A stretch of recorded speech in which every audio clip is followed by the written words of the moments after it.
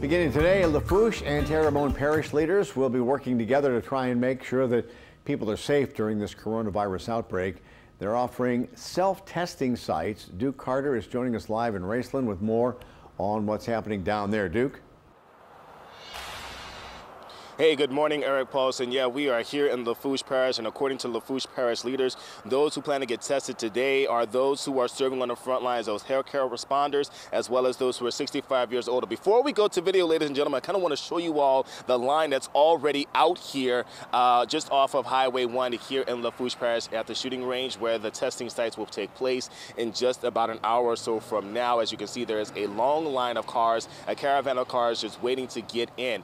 Now let's show you all some video of how the testing site is pretty much going to work. It's similar to how the sites are set up all across the state, St. John Parish or St. uh, St. James Parish, where it's pretty much drive-through. The difference here, though, in Lafourche Parish is that people will be able to test themselves with a cotton swab. They'll wipe their nose and then place it back into container so that way it can be tested at the state facility. Now, parish presidents in Lafourche and Terrebonne, uh, they're also working together with the superintendent in Lafourche Parish Schools. The superintendent in Lafourche Parish Schools, they're allowing some nurses to provide assistance by answering those questions to those who may test positive or negative with the virus. The test is for those 18 years or older. We spoke to Lafourche Parish President Archie Chaisson.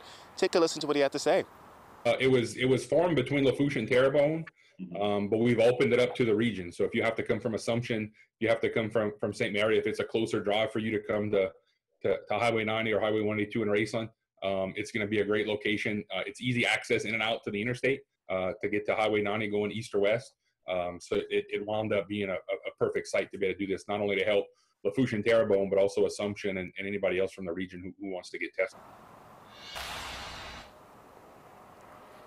So those tests, uh, about 125 per day or as long as supplies last, and the tests begin in just about 20 minutes or so from 8 until noon. Now, again, those people are going to be tested today. Those are specifically uh, healthcare responders, those helping people with the coronavirus outbreak, or those who are 65 years or older. And as you can see, there's already a line of people waiting to get tested. Back to you in studio. All right, Duke, thank you very much. There are several COVID-19 testing sites across the region. If you'd like a complete list of where they are and what times they're open. You can get that on our website, WWLTV.com.